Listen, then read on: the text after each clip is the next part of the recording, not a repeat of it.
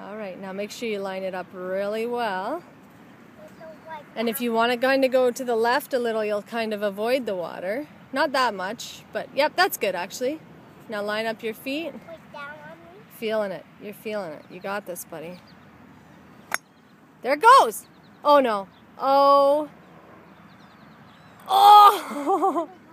Are you in or right beside? No, you're right beside. You're okay. You did it, buddy. I did it. All right.